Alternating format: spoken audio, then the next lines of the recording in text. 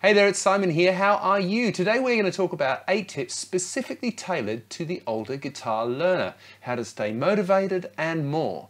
Let's kick it straight off with number one. Don't forget to subscribe and click the bell for notifications of new lessons as they turn up. All right, number one. You've got to be patient with yourself. Be kind to yourself. Don't rush into things thinking you're going to get it in two seconds flat because you saw dudes all your life in pubs playing guitar it's not actually that simple. You can start off with a bunch of pretty easy sorts of things just to get yourself familiar with the guitar. Things like this, where you play consecutive chromatic notes.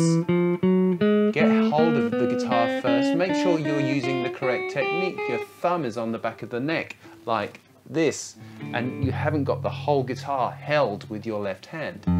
Things like that are going to really, really help and help you get comfortable with the guitar. When you start trying to play chords, just play on the change, right? At first, don't try and think you can kind of do that. Just play one, two,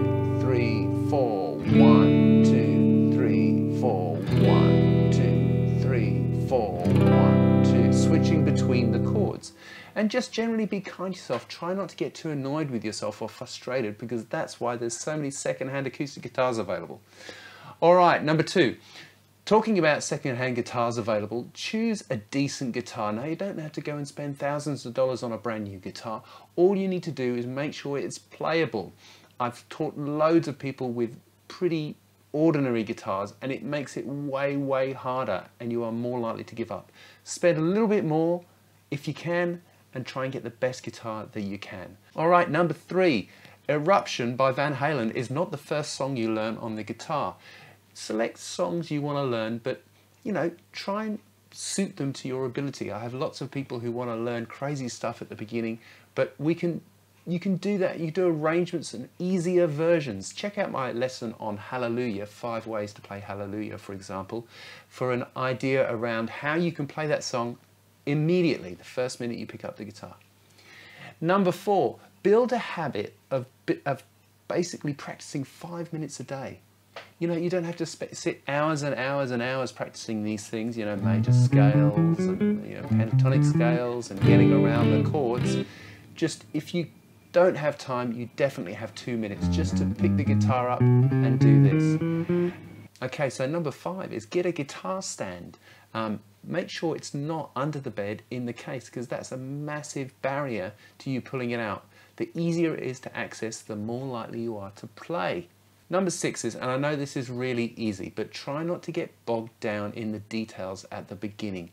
If you can get a sort of a sketch of the song going that you're trying to trying to learn first, that's probably better instead of obsessing about this one tiny bit that goes in the tune or something like that. So just concentrate on the big picture at first, get that, and then focus in on the smaller details. Number seven is to consider a structured, planned approach. What I always suggest to students is basically spend two, three minutes doing a warm up, something like this, right? Or a scale, it will just get your brain into the guitar and then you practice the song that you're trying to learn and then for being a good student you play all the stuff that you want to play after that.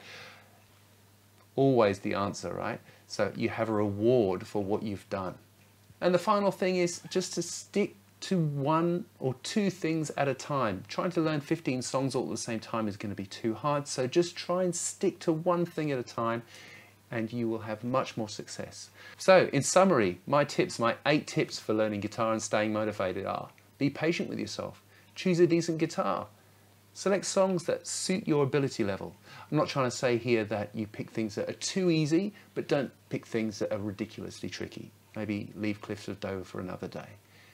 Okay, then build a habit of around daily practice. Five minutes even is fine. Get a guitar stand so the guitar's always looking at you structure your learning, have a plan of what you're going to try and do every single time you sit down and practice, and try and commit to just a few things. And then if you, you know, you can still cycle them. You don't have to sit slavishly learning just that one song. But if you just focus on a few things, you'll have great success. So good luck with the guitar.